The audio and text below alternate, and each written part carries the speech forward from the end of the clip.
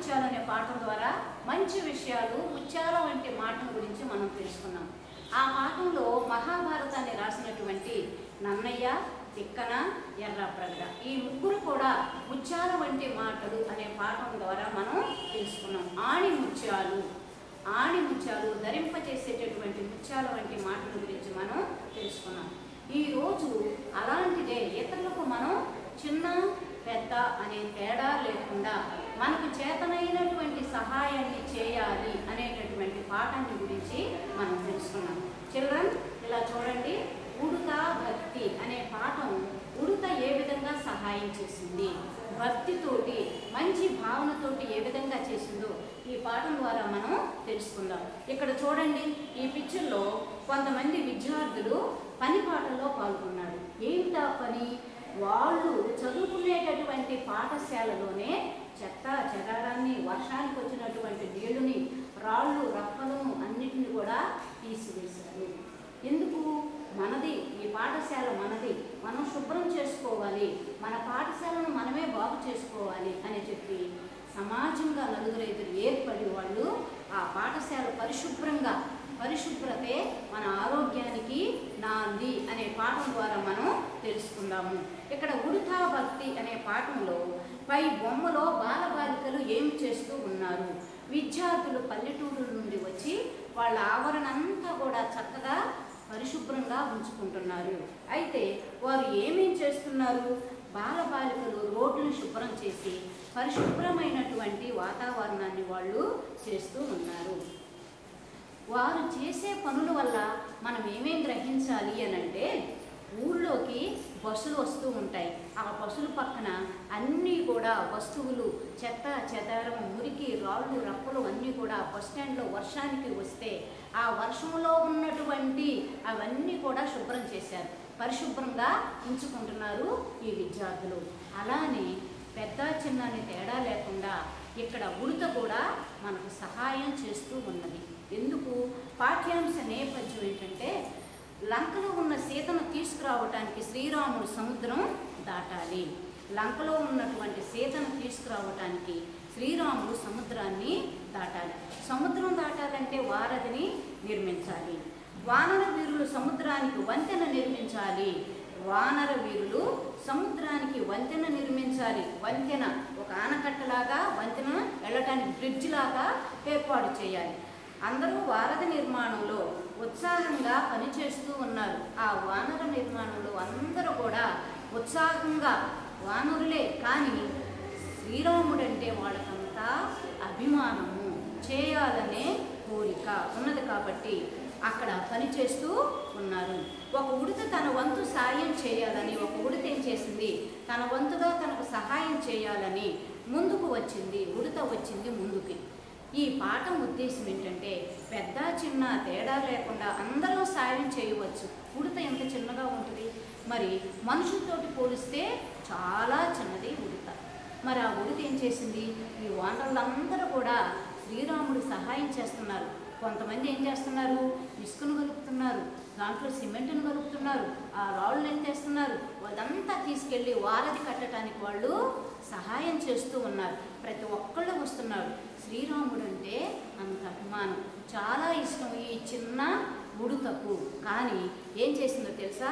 ఇతరులకు సహాయపడాలి నేను కూడా అని మనలో ఒక కోరిక అనేది ఆశ అనేది ఉండాలి. ఆశ లేనిదే ఏది కూడా మనం చేయలేము. ఈ ఆశ ఉండేసరికి మంచి మనసుతో చేసే చిన్న పని అయినా గొప్ప ఫలితాన్ని ఇస్తుంది.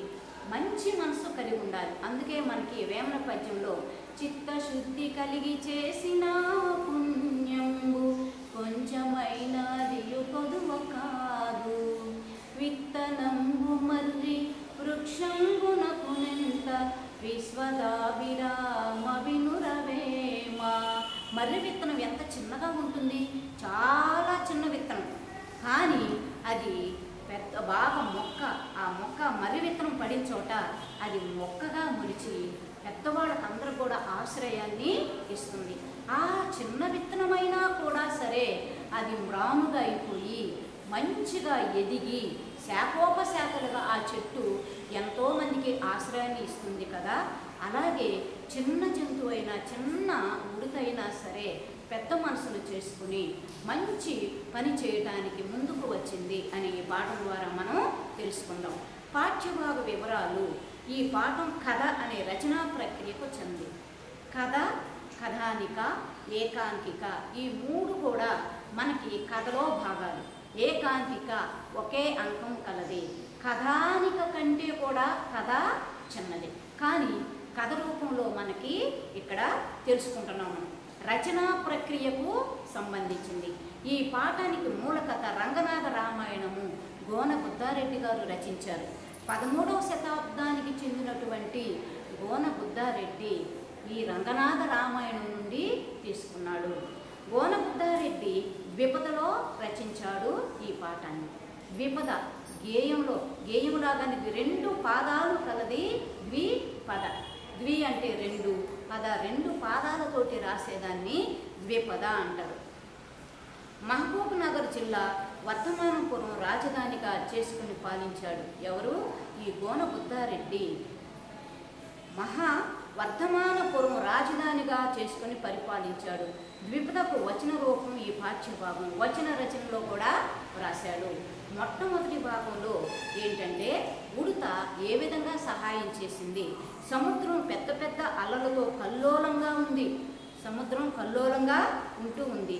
సముద్రంలో ఉండే తిమ్మింగలాలు మొసళ్ళు మొదలైన జలచరాలు భయపెడుతూ ఉన్నాయి. అక్కడ సముద్రంలో ఉండే తిమ్మింగలాలు మొసళ్ళు మొదలైన జలచరాలు భయపెడుతూ ఉన్నాయి. ఆ జలచరాలన్నీ కూడా ఆ తిమ్మింగలాలు మొసళ్ళతోటి ఆ సముద్రంలో ఉంటూ ఉంటే భయానకం సృష్టిస్తాం మనం మొసళ్ళని చూస్తే ఎంత భయం మనకి?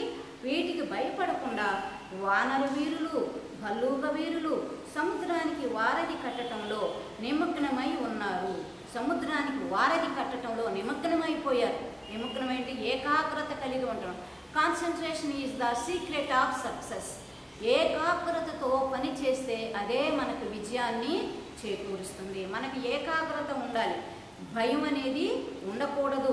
సముద్రానికి వారి కట్టడంలో నిమగ్నమై ఎవరెవరున్నారు?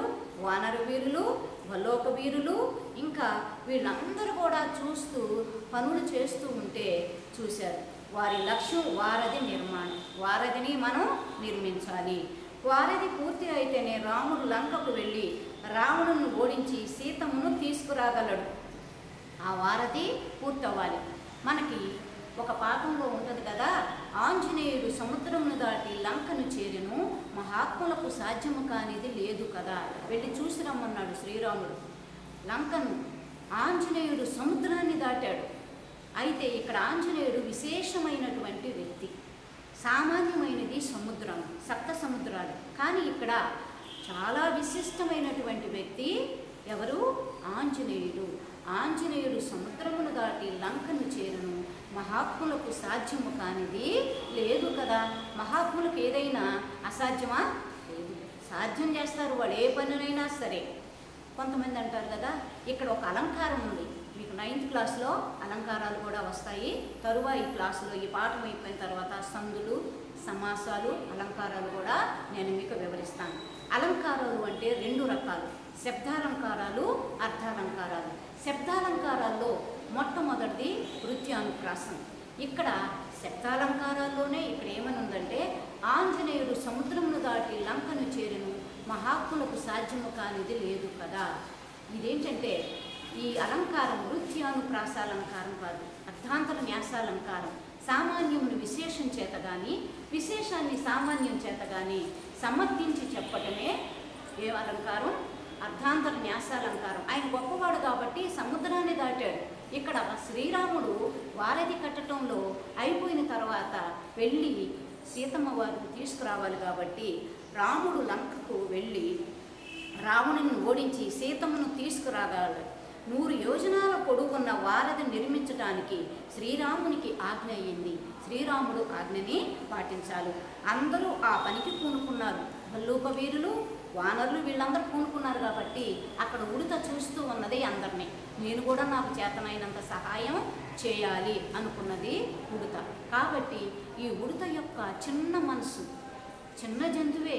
కానీ ఆ జంతువు చిన్నదైనా కూడా ఆ మనసు పెద్దదిగా ఉన్నది. వీళ్ళందరూ చేస్తున్నారు నేను కూడా చేయాలి అని అనుకున్నది కాబట్టి ఈ పాఠం ద్వారా మనం ఏం గ్రహించాలంటే చిన్న పెద్ద అనే తేడా లేకుండా మంచి మనసుతోటి వేమన చెప్పిన పద్యం ఏ విధంగా ఉందో చిత్తశుద్ధి కలిగి చేసిన పుణ్యము మంచి మనసుతోటి చిన్న పని చేసినా కూడా అది ఎంతో ఉపయోగకరంగా మారుతుంది. దానికి ఉదాహరణ చిన్న మర్రి విత్తనమే. కానీ అది వేయబడ్డప్పుడు అది మొలకెత్తి శాఖోపశాఖలుగా అందరికీ నీడనిచ్చేటటువంటి మహావృక్షం కాలేదా?